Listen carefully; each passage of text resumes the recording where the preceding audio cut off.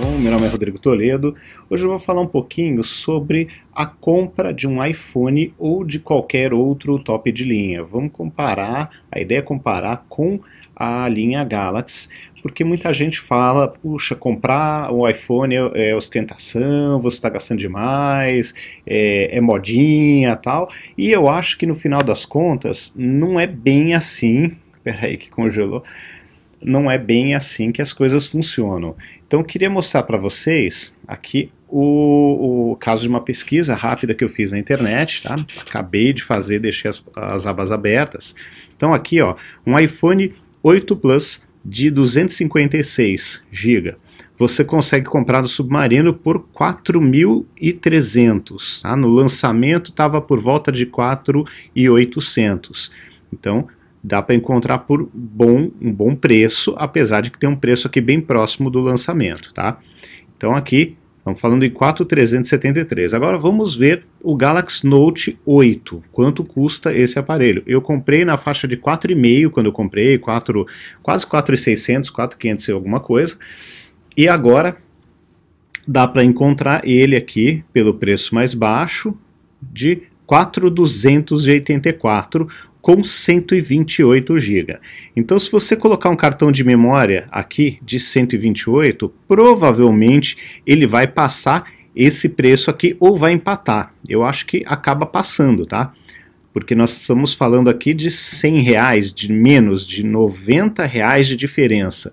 Então, veja que, tudo bem, se você comprar um aparelho um pouco mais simples, né, se você comprar um aparelho mais barato, de repente, é, nem tão simples, tá? Um Moto Z2 Force, que é um top de linha da Motorola, você vai pagar menos. Mas, você falando de Samsung e de Apple, nós estamos falando de uma diferença de 100 reais. Então, aqui, Veja que eu não consigo ver a, a, a ostentação, não consigo ver quem, é, quem compra um iPhone está fazendo algum absurdo. Claro, tem o gosto de cada um pelo sistema operacional, pelas possibilidades, tem a necessidade de cada um, mas o preço é muito parecido.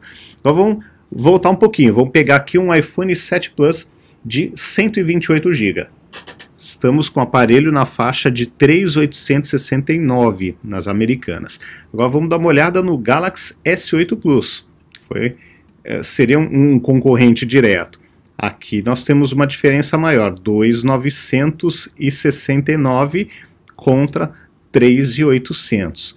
Então aqui o que, que dá para notar?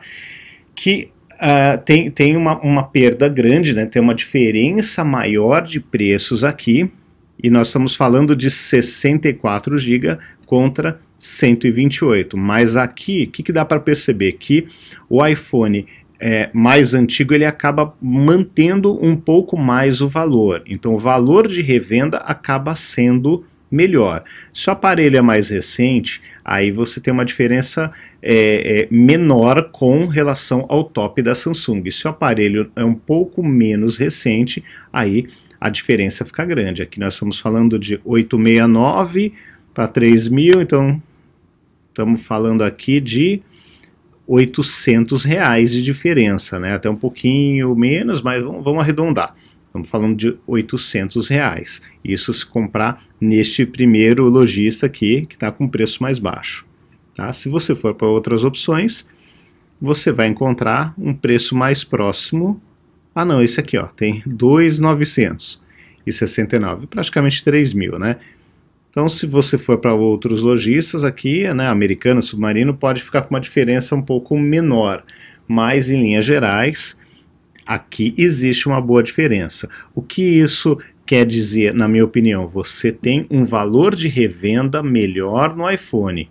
Ah, então, ele preserva mais o seu valor com o decorrer do tempo.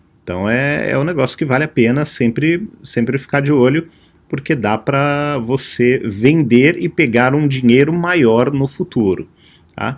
Mas assim, em linhas gerais, o que eu queria mostrar para vocês é que a diferença, ó, que deixei até marcado, a diferença é muito pequena, então assim, eu não entendo muito a briga, né, de um ou de outro. Acho que cada um tem que comprar o que é melhor para si, o que atende melhor, Obviamente, é, vale a pena sempre lembrar, deixa eu voltar a câmera aqui, É, vale a pena sempre lembrar o seguinte: se você está falando de, por exemplo, é, uma pessoa que não faz, acho que eu vou tirar que está bem devagar, né?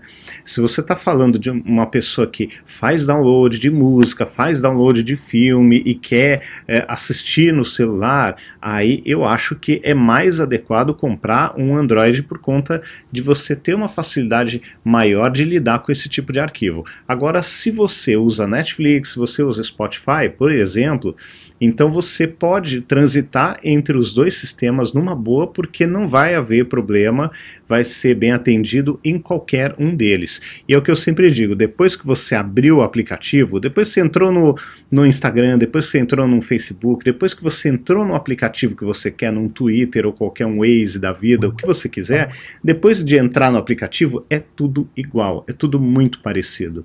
Então não precisa brigar por conta de sistema operacional. Falou, pessoal? Então é isso. Espero que tenham gostado do vídeo, que tenha sido de alguma forma esclarecedor. E é aquela história. É, em um primeiro momento, a diferença é pequena, com o tempo ela aumenta, mas você tem um valor de revenda maior no iPhone do que no Android top de linha. Falou? Então é isso, pessoal. Um grande abraço para vocês. Até o próximo vídeo. Não esqueça de compartilhar esse vídeo com seu amigo que está na dúvida entre o Android e o iPhone e também fazer a inscrição no canal e deixar o like que ajuda bastante. Falou? Grande abraço, até mais. Tchau, tchau.